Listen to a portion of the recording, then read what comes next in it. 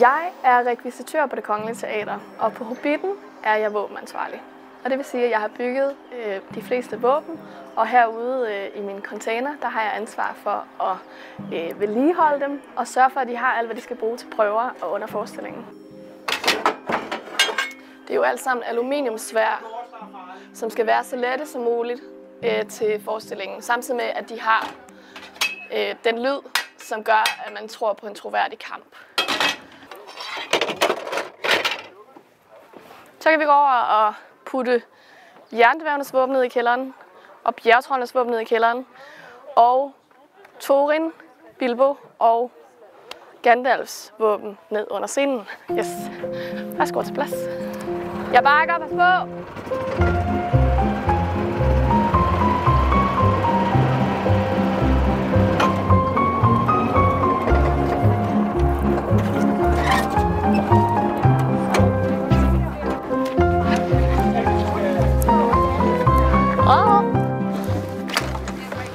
Godt. Så skal vi have dem der ned til kælderen.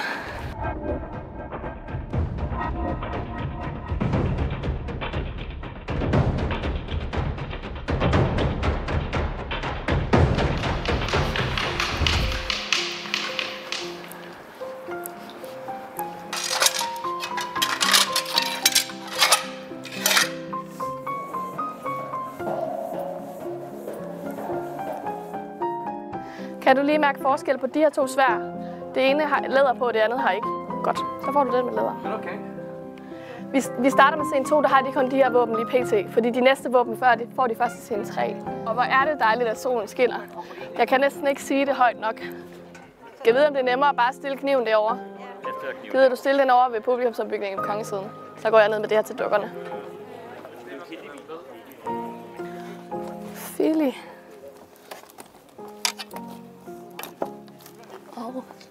Kili. En meget flot fyr, ham her. Det er Kili.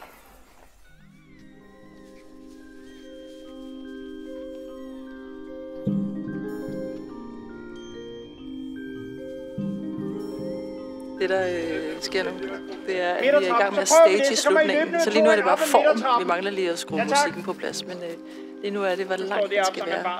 Og øh, det tror jeg, vi nu har fundet. Nu ser vi, om det virker. Det er bare spændende. Værsgo.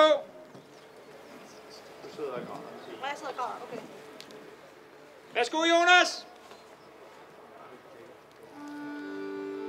Konge under bjerget. Dværgenes modige konge. Kom ned på flisen. Højre!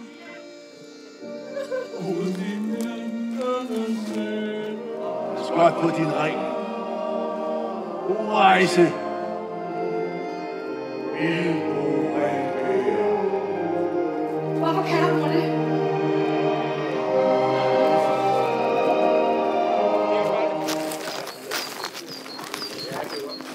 Du var helt sulten. Ja, det var jeg synes Hvorfor er jeg altid sulten?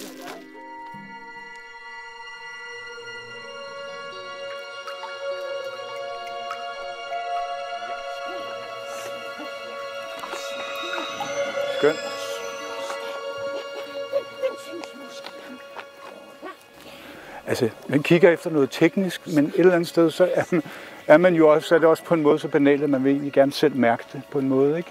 Og man kan fornemme, hvornår, hvornår, hvornår ånder figuren, hvornår bliver det en levende figur. Og nogle, nogle gange har jeg oplevet med, med Gollum-figuren, at, den, at jeg slet ikke ser de tre spillere. Og det er det, jeg er ude efter. Var den god, var sikker. Var den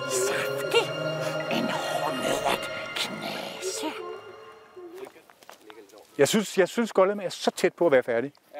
Vi skal rode med trollene, og det er tre store figurer, som er med i forestillingen. Og, og øhm, det man kan sige, når vi skal arbejde med dem, det er, at vi, vi tager højde for, næsten ligesom som når man dopper en tegnefilm, at vi bliver nødt til at se, hvad er volumen, hvor, hvor, hvor meget, hvor meget klang er der i den krop, som vi kommer til at arbejde med. På troldene, på troldene bor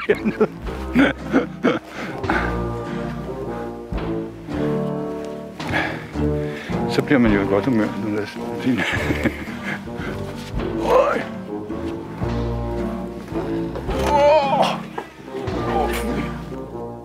Martin, hvad er det nu for en, der er din? Er det, det er den her, ikke også? Altså, det jeg er ude efter, det er inde i alvoren. Ligesom med alle dukkerne på en eller anden måde. Uden at prøve. Det her, det er det sidste, vi har af alting. Ja. Okay. Hej. De sætter bjergkørende ind i det store sal nu, og jeg tror, det er godt, Ja. hvis du kommer og ser det. Ja. Og nu har vi en halv time. Ja.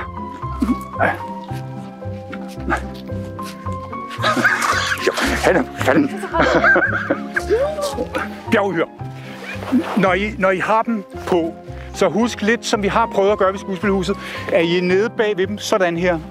Øh, men allervigtigst så, prøv lige, I må meget gerne lige vise mig det, øh, at I kommer ned og ligesom bliver en del af dukken. Og dræber ansigter på selv os. Så må jeg lige se dræberansigterne også fra jer selv. Øh, yes. Giv den bare gas med det.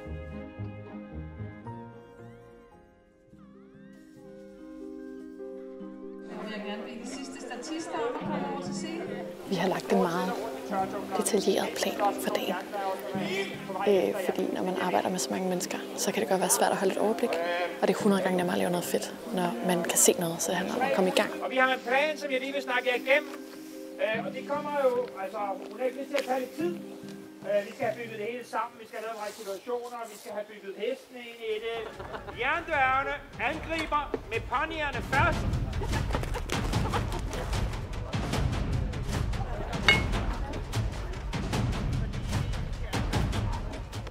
Er ved punkt 18 af 25 på en time og 20 minutter. Så det går rigtig godt. Det er en kæmpe succes. Det er en kæmpe succes. Siger jeg, mens der er helt stille, men det, der er virkelig gang i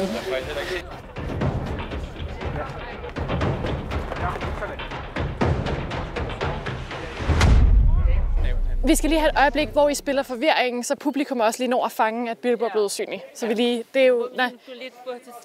Og jeg har jo de fantastiske hoveder, der ligesom er præcis, som er det, der spiller det. Og så kommer Gandalf løbende.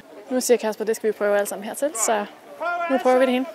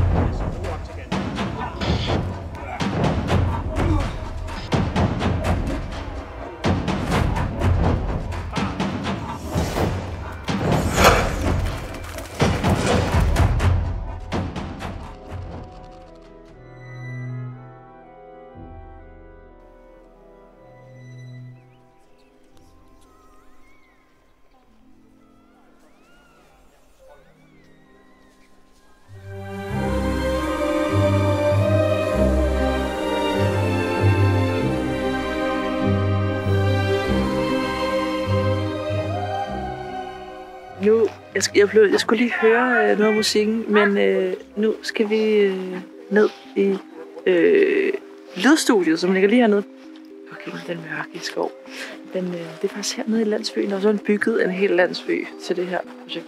Og har sit helt eget studie. Der går vi nu hen og sætter os sammen med Jonas Jensen og mixer på elverne.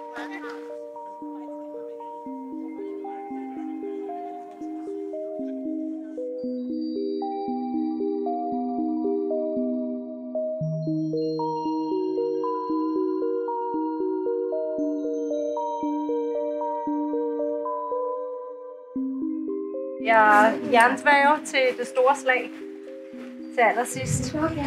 Så vi har fire ponyer, der skal have jernsvæve på.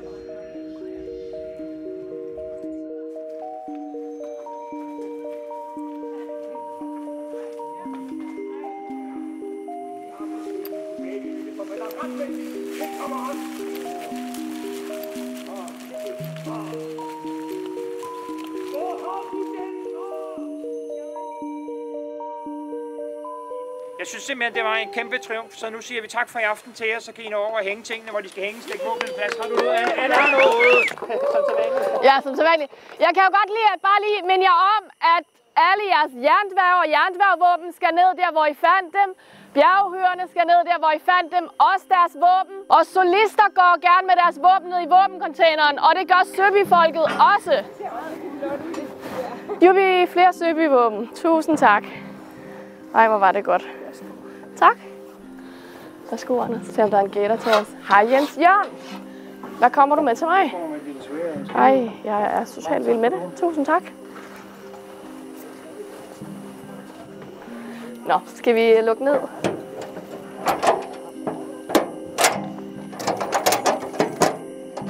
Så er vi klar til i morgen. Det var det.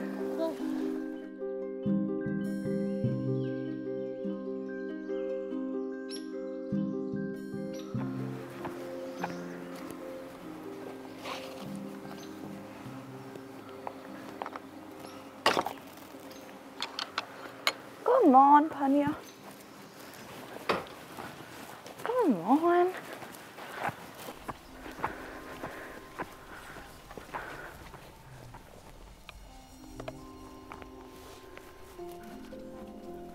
Jamen, vi har jo Coco herinde, som er en hoppe, og så har vi prinsessen nede bagi. Og til at starte med, så stod de sammen i den bagerste boks. Men lige inde ved siden af, der har vi jo øh, Gandalf stuntrytter, øh, som har taget en rigtig flot sort hængs med. Lidt ligesom Black Beauty, hvis man nogensinde har set den. Og det kan de jo slet ikke stå for, så det er dånen, når de ser ham, og så blev de en lille smule uvenner over det. Så vi måtte skille dem ad i løbet af natten. Øhm, og så nu står hun alene, fordi hun kan ikke helt opføre sig pænt. Jeg tror ikke, hun er vant til at se så flotte fyre. Og så hende den anden har så fået en anden ven derned, faktisk Torens pony. Ja. Så det er derfor, at de står lidt adskilt. Hej I to. Men de her to hygger sig også virkelig meget. Men han er jo bedste venner med Louis ude på folden. Så han synes, det har været lidt hårdt at skulle skilles fra ham. Som der er Bilbo's hest.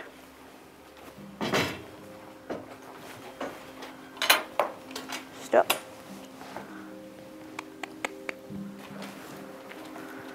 Skal hun altid først ud.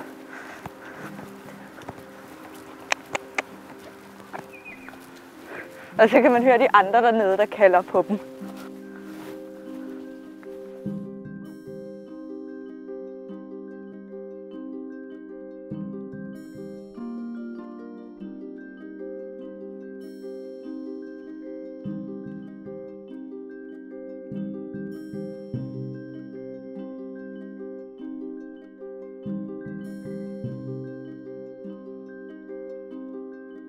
Det er dværgenes ponyer. Det er dem, der transporterer dværgene. De skal stikke af, og de skal være med i tropperne under det store slag, og de skal forskellige ting. Og de har jo faste dværge, ikke? Og, øh, og ham her, det er kongens dværg. Eller kongens hest. Øhm, og det, det tror jeg, han synes er på sin, på sin, på sin plads at være det. Det her, det er Bilbos hest. Og det er den eneste hest, som har en soloscene øh, alene med skuespiller, uden statist og uden de andre heste. Øh, og øh, det betyder selvfølgelig, at vi har måttet udvælge den mest modige, øh, som kan være væk fra sin flok. Øh, han synes, det er svært, men han, øh, han klarer det super fint. Skuespiller Bilbo øh, synes, han er meget sød. De er blevet gode venner. Planen med dem nu er, at jeg lige har, øh, er blevet spurgt, om, øh, om jeg mener, at Signe og Louis er klar til at, at prøve at arbejde på scenen. Og det har jeg sagt ja til. Og så bliver jeg i nærheden, så jeg er der hele tiden, hvis der er brug for hjælp. Vi forenede vores kræfter. Drev den onde bort fra hans mørke fæstning sydpå. Snart vil skovene grønnes igen. Ja, det må vist også hellere til hjem af.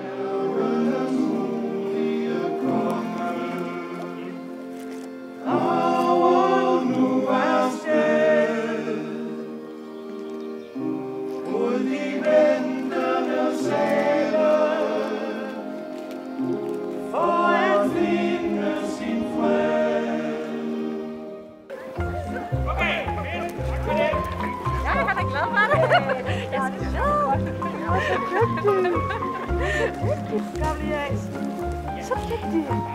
Lille skuespiller hest, Louis. Dejligt. Så vi faktisk er helt...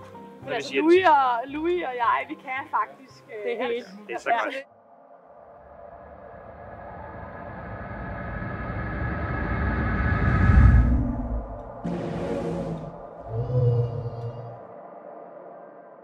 Her går øh, alle ulvene og hele Søby. Og det vi skal nu, det er, at øh, vi skal op til Jonas Vest. Det er jo hele tiden, jeg pendler hele tiden mellem de to Jonaser her. Men øh, nu har jeg lige lavet et bud på, hvad der kunne spille. Kan I høre mig? Når dragen letter og haver ind over Søby, har jeg nu et bud på. Det skal lige op og se, om det virker.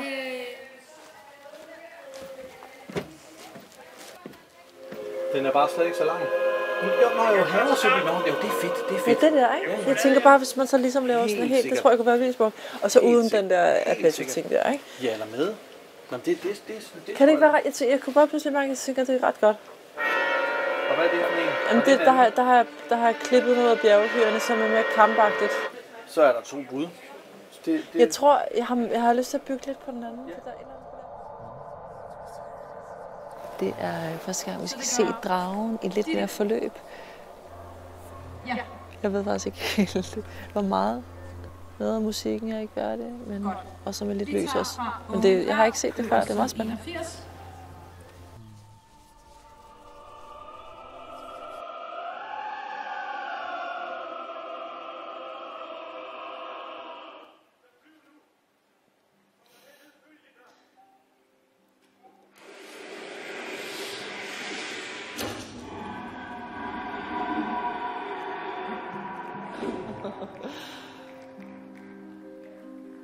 Gange, når man ser noget for første gang, så skal man lige have sin forestillingsevne med os. Fordi på forskellige parametre, for eksempel musikken, skal man lige forestille sig, at det lyder mere færdigt, end det gør lige nu. Men det kommer det til, det kommer det til.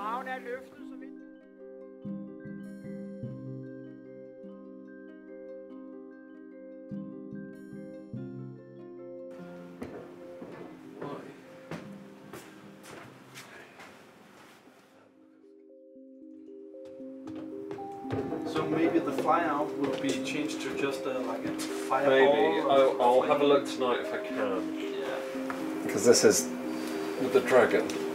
What I was thinking is if we sort of stay a bit closer to the face, so it sort of pulls out a bit, so you still get a bit of that, but it stays really close. Yeah. It is these few hours after rehearsals are finished and before the sun comes up. It's sort of crucial time for video. The show starts in daylight, so as the sun goes down, then the projection kicks in and we can see the projection. It just means we have to do a lot of, um, you know, late nights. So that's why we're here. It's what just coming up to midnight. We've got till about 4 a.m. Uh, to to make any changes that. Um, that we need to make. So there's a few tweaks that I would like to make to the Dragon tonight. So this is all made in um, in 3D software. You can see here this is a visualization of what's what's going on out there. So I can move around and sort of play around with how these images are mapped on, and then uh, this is fed out to the projectors. So this tells the projectors what they can see, and then that is accurately mapped onto the stage. We're, we're, we're stood right on the, the hill, so the cave has opened. Uh, so this is a lift that goes down to reveal this, this dragon's eye and this cave here. Uh, but yeah, we're, we're right in the middle of the set. So part, part of being the video designer on this show is to, re- to really um, bring to life some of the more fantastical elements. So obviously we have the, the dragon. How can we turn this hillside into a full-size fire-breathing dragon? It may look simple when it's finished, but um, there's a lot that goes into it. Um, and obviously, not just my work, but then we have all of our projectionists that have been working here for weeks. Um, you know, doing the, the, the hard physical stuff of, of getting the projectors up the towers and making sure that they fit and are pointed in the right direction based on our plans. And then I turn up and I just play around with pretty pictures. Uh, so uh, my bit's relatively easy. Så øh, en anden lille detalje, for Jonas han optager om lidt.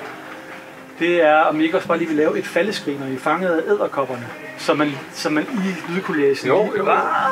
Og jeg skal nok korte af, så I falder bare, og så, så cutter jeg dem. Jo. Jeg mener, så, så, så, så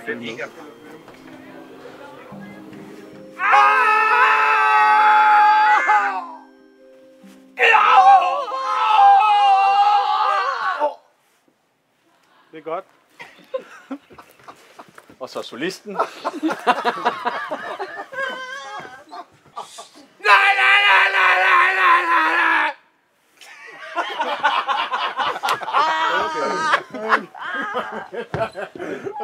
Ej, jeg vil godt lave min om. Ja, jeg vil godt lave min om, jeg vil også lave en, en lille tutti-scene, øh, og det er bare til lydmixet, efter at Bilbo har sagt, Jubi, vi, vi flyver, når I er blevet reddet.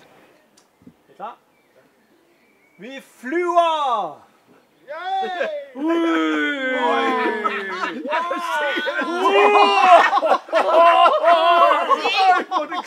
vi er fri! Se mig! Jeg kan se marken! Det er Ulf Pilgaard!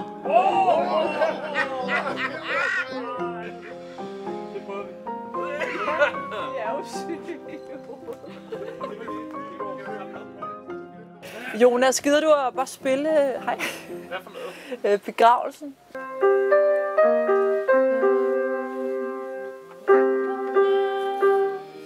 Bjergenes modige konge. Kan du gøre det en lille smule mere luftigt? Bare, lige, bare en lille smule. Nu er sted Ja, rigtig godt, rigtig godt. mod de ventende sæle. Ja, lige præcis. Det er et vildt godt sted, der. For at finde sin fred. Skide godt, tak. Vidunderligt.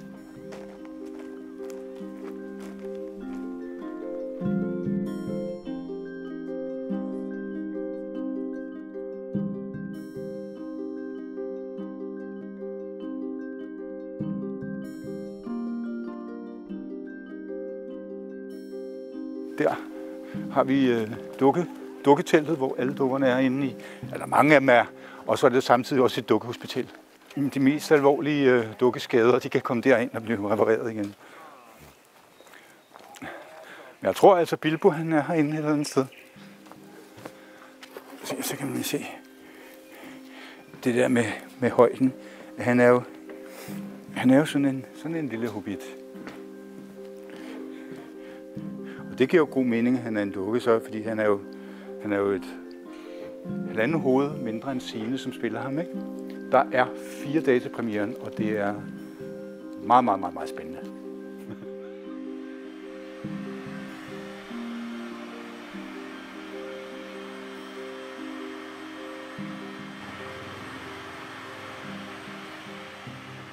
Jamen, jeg er ved at reparere et øh, ben på et bjerghyre, øh, som knækkede under et rullefald for en af statisterne. Så nu, øh, nu øh, bliver den repareret.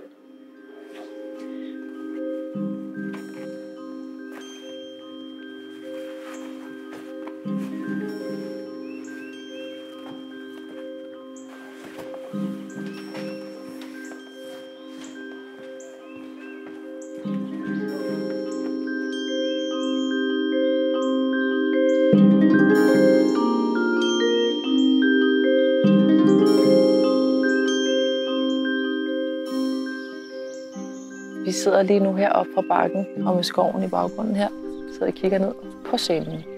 Lige nu er de i gang med at øve fremkaldelser.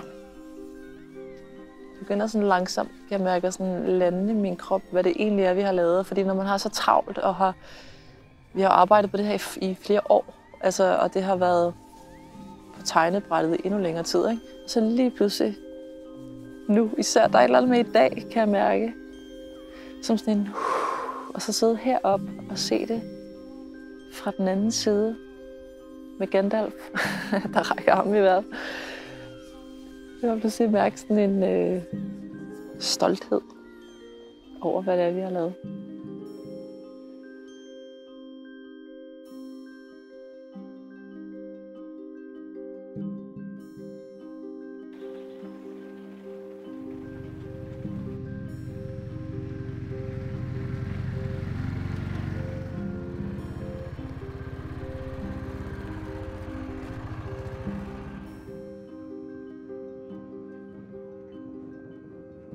Gjort mig så fin i dag, fordi det er jo premiere, og så har jeg fået en blomst.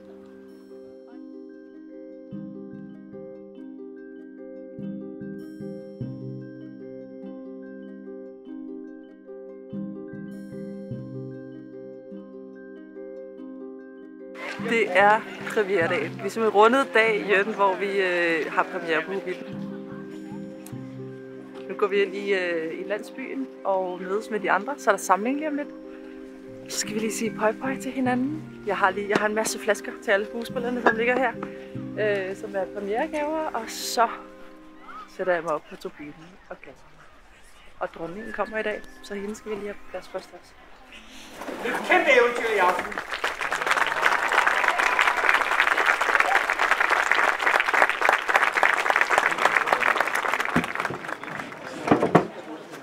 Så ved de godt. Bare lige melder, at øh, alt er klar hernede bagved. Alle er markeret, og der er hul igennem. Det lyder godt. Vi er også klar heroppe, så god fornøjelse. Prøv mig med. Tak. Så start lige med at mærke jeres fødder ned i underlaget. Og sådan virkelig have fornemmelsen af, at jeres fødder bare synker dybere og dybere ned i jorden.